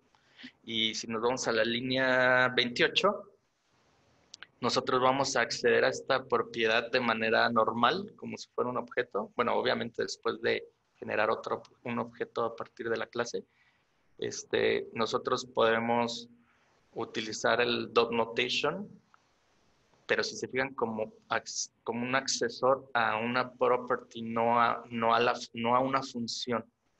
No, o sea, no, no es una función, esta es lo que se va a usar para computar el campo sorted interest. Entonces aquí no, hay, no necesitamos invocar la función ni nada, simplemente accedemos a la property. Y bueno, los métodos eh, de la clase pues se generan como funciones normales, ¿no? Nombre de la función, que sería este nombre de la función y los paréntesis, si lleva, lleva algún parámetro, pues parámetros y, y el bloque de código de del método. Y para, y para generar un objeto a partir de esta clase, pues se utiliza el, el keyword new. Si se fijan, idéntico al pasado. Entonces, usar class o usar una función person es, o sea, es equivalente. Y chequen, chequense esto. Si nosotros nos vamos a una herramienta online que se llama, bueno, es una herramienta para transpilar código, que es para convertir JavaScript de una versión moderna a JavaScript de una versión vieja. Fíjense lo que pasa. Yo estoy aquí, literal copié el código que está en el ejemplo que es una clase, y le estoy diciendo que me lo ponga en, un JavaScript que, incluso Internet Explorer 6 pueda entender. Y literal lo que va a hacer es usar los prototypes. Si se fijan aquí no hay nada, ninguna, ninguna mención a clases, no hay nada de class, absolutamente nada, pero sí hay prototype si hay, se fijan, genera una función como la, versión anterior, ¿no? ¿Recuerdan que hicimos function? Eh, bueno, la única mención de class es esto, pero bueno, esto es literal una función genera, autogenerada, ¿no? ¿no? Realmente no estoy usando ninguna clase. Y entonces a esto se refiere el syntactical sugar, ¿no? De que a nosotros nos, nos dejan definirlo de manera bonita con class y todo eso, para que se nos haga familiar, eh, pero en realidad internamente todo esto se maneja con, con el mecanismo del prototype. ¿Ok? Y bueno, lo último en el tema de clases, pues son las subclases, que es este, generar o extender una clase a partir de otra, ¿no? Que eso es muy común en, pues, en lenguaje orientado objetos. Y en Java, en JavaScript, este, pues se hace de una manera muy similar. Se utiliza la palabra, la palabra clave extends y, y, el nombre de la clase que queremos extender, ¿no? Entonces, pues este, es, este es un ejemplo muy, muy sencillo, muy básico, donde tenemos una clase animal con un constructor que simplemente le asigna o crea una propiedad name con el valor que le estamos pasando y un método que es speak, ¿no? Eh, lo único que hace es mandar a la consola este, la variable name hace un ruido. Entonces, si ya queremos hacer algo más particular, pues eh, extendemos animal, eh, queremos que dog extienda animal eh, el constructor va, digamos que va a tener un, vamos a poder utilizar una nueva funcionalidad que es el super, que es también similar a, otros lenguajes, este, llamar al constructor de la, de la clase padre. Y podemos nosotros reemplazar pues el método o extender o agregar nuevos métodos, entonces se van a combinar ambos objetos, ¿no? En este caso, por ejemplo, estoy creando un, un, un perro que se llama Mitzi, lo asigno a la variable d y invoco el método speak de, esa, de ese perro y en vez de decir Mitzi makes a noise, va a decir Mitzi barks. Sí, es cierto, Mitzi es nombre de gato. este, pues esas son las subclases. La verdad es de que no hay mucho, mucho más que, hablar en este sentido. Comparten las mismas características que una clase normal, con la diferencia de poder extenderla. ¿no? Eh, en, cuanto a, en cuanto al uso en la industria, eh, pues aquí, igual que en la conversación de ayer, va a depender mucho de su equipo.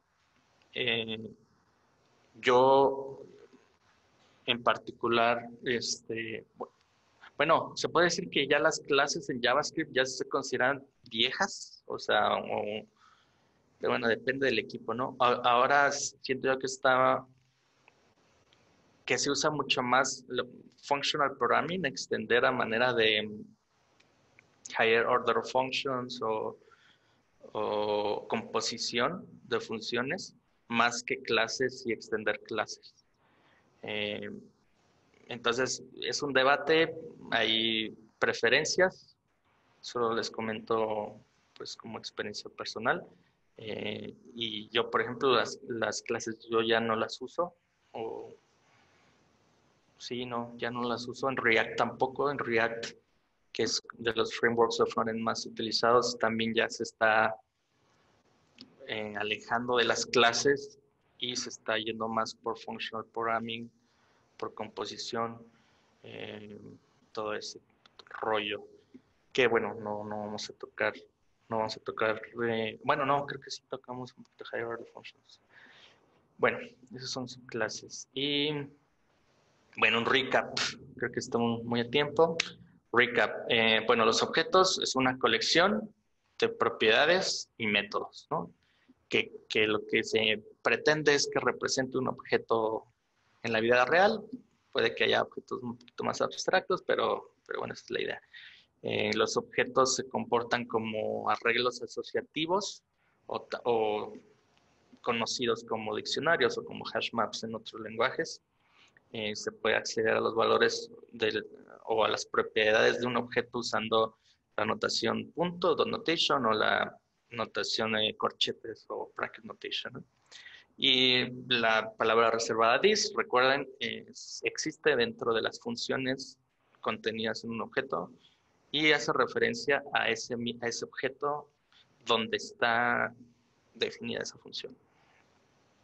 Eh, el prototipo de los objetos nos permiten extender estos objetos o nos, es un mecanismo que nos permite compartir funcionalidad eh, y es como originalmente se, hizo toda esa parte de, eh,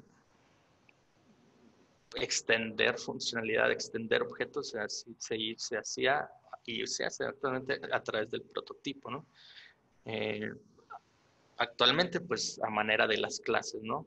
Las clases, pues, simplemente es una, pues, una capa de pintura o, o este, sobre pues todo el mecanismo de herencia de los prototipos o bueno de la cadena de prototipos. Y podemos crear subclases utilizando la palabra reservada extends como se hace en otros lenguajes orientados a objetos. Es el recap. Preguntas antes del challenge final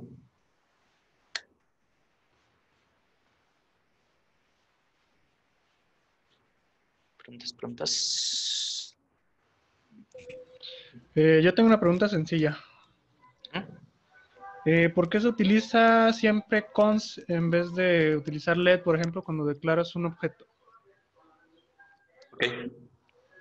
No es, no es una regla general, ni mucho menos, pero sí tiene una particularidad.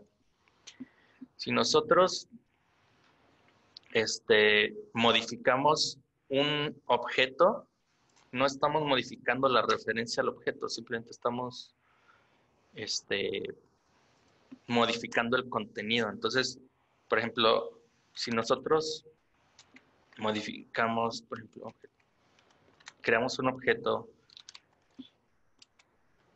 o esto y nosotros este, le creamos una nueva llave haciendo esto, ish. Esto no se va a quejar porque en realidad ah, sigue siendo constante, no, no se cambió la referencia, eh, simplemente estamos agregándole nueva, una nueva propiedad al objeto. Entonces, es normal que se utilice una constante para definir un objeto. Cuando sí truena, JavaScript es si nosotros queremos asignar, reasignar o a un objeto nuevo. Esto sí es un error. Lo que estamos haciendo es que yo en la línea 55 estoy creando un nuevo objeto y se lo estoy asignando a O. Esto sí es una, esta reasignación sí es prohibida porque estamos definiendo O como, como una constante. Entonces, esto no es válido, pero modificarlo sí es válido. No sé si eso contesta tu pregunta. Sí, más o menos me imaginaba que por ahí iba la cuestión. Sí, gracias. ¿Alguna otra pregunta?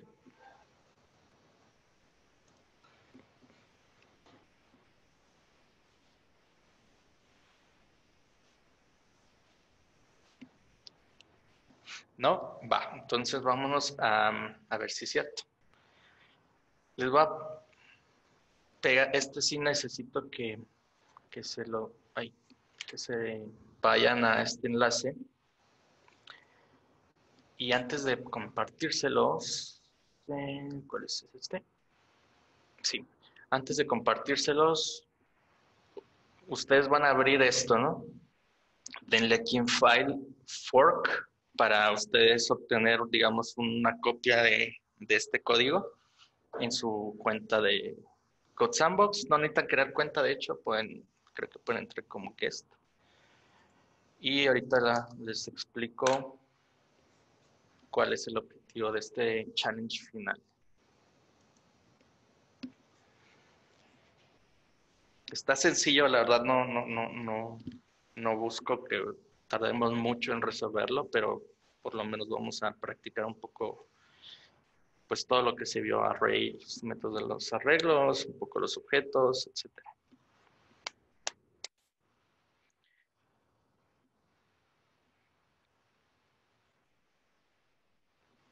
De hecho, una pregunta ahí, Chava, si no estás por aquí o Laura si está por aquí, eh, ya van a ser las 7.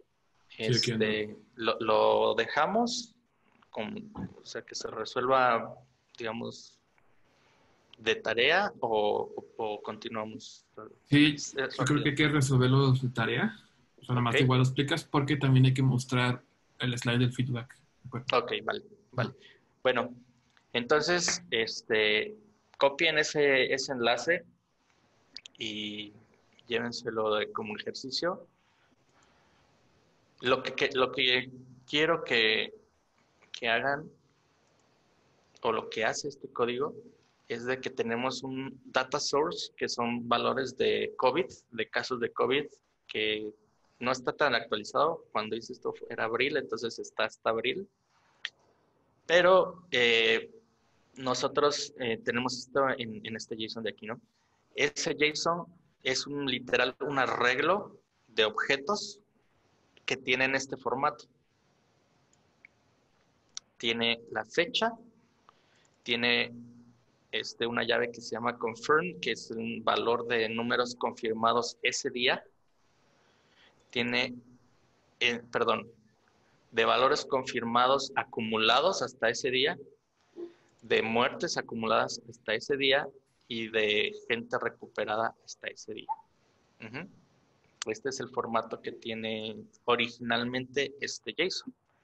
¿Cuál es el problema a resolver? El problema es de que estas, este chart, estos charts de aquí toman un formato diferente. Entonces, si nosotros queremos graficar los valores, tenemos que convertirlos porque no, estos datos no, nos sirven como, como vienen originalmente. Entonces, estas gráficas toman este formato. Una llave que se llame date, que tenga el valor, el mismo valor. O sea, esta, digamos, esta property sí nos sirve. El problema es de que cada gráfica toma valores eh, con una propiedad que se llama value y el número. ¿Qué es lo que tenemos que hacer? En la primera función lo que queremos es desplegar. La primera función nos ayuda a desplegar la primera gráfica y la segunda función nos ayuda a desplegar la segunda gráfica. No nos tenemos que, no nos tenemos que preocupar por la lógica del rendering ni nada, ya está todo hecho. Lo único que tenemos que enfocarnos es en regresar los, datos correctos en cada función. En este caso, yo ahorita pues, no estoy regresando nada, estoy regresando un arreglo vacío. Y lo que hay que hacer es regresar un arreglo en esta función, regresar los datos del, de los casos confirmados agregados, o sea, así como viene, este, en este formato. Entonces, value, aquí vamos a tener que sustituir eh, este valor por confirmed y crear un arreglo con todos esos datos. Y en la segunda gráfica lo que queremos es un poquito más compleja. Eh, no queremos los datos agregados, queremos los datos por cada día. Entonces aquí vamos a tener que hacer por ahí un poquito de lógica para, para obtener eso. Recuerden que el formato original trae los datos agregados. O sea, agregado se refiere a que suma los casos del día anterior, este, más los casos del día de hoy y los, los suma. Y así el siguiente y así el siguiente. Entonces se va generando una gráfica acumulada creciente. En la gráfica de abajo, que es la que queremos por día, tenemos que encontrar una manera para obtener solo los casos de ese día. ¿Cómo? Pues ahí, ahí se los dejo de tarea. Esa es, obviamente, obviamente tenemos que regresar estos datos por día en este mismo formato que está en este comentario. Ese es el, es el ejercicio. Y bueno, este, pues eso sería todo, todo por mi parte. Déjenme les paso aquí en las, aquí, aquí en la, en las slides que se les va a hacer llegar, trae un poquito de recursos para que se echen un clavado a ver más cosas. Eh, si se fijan, los primeros dos es, de la referencia de Mozilla. La verdad es que creo que es la mejor documentación del API JavaScript. Entonces, eh, se, los, se los recomiendo. Eh, sí estaría bueno que la dejen en el Slack, este, sin problemas. Em, incluso no necesitan compartir eh, todo el, URL. Si quieren en Slack, nada más compartan la, compartan la, solo el código de estas dos funciones. O sea, literal, agarren esto, copienlo y lo pegan en Slack. Em, y por favor, igual que ayer, em, reitero la importancia de que nos ayuden con el feedback. Nos, ayuda bastante a mejorar el curso, a mejorar este, el contenido y, pues para la gente que tome este curso en el futuro, pues reciban un curso de mejor calidad. Entonces, por favor, este, ayúdenos con, con, el feedback. Em, feedback puede de manera honesta, nadie les va a reclamar ni nada. Este, nos ayuda bastante. Y pues ya, creo que es todo, Chava. Eh, no sé si quieres agregar algo más. Eh, no, solamente gracias a todos por, por presentarse. Y ya saben, mañana hay Office Hours. Si quieren este, practicar algo, código, si quieren más preguntas. De hecho, es buena idea la de, la de Miguel. Este, podemos revisar si quieren el challenge. O sea, algunas de las soluciones las podemos ver mañana en el Office Hours sin problemas. Sí, e, e, igual si, si no se sienten cómodos de traerlo ya hecho, ahí es el momento de aprender más, ¿no? ¿Va? Exacto. Pues, pues, gracias a todos.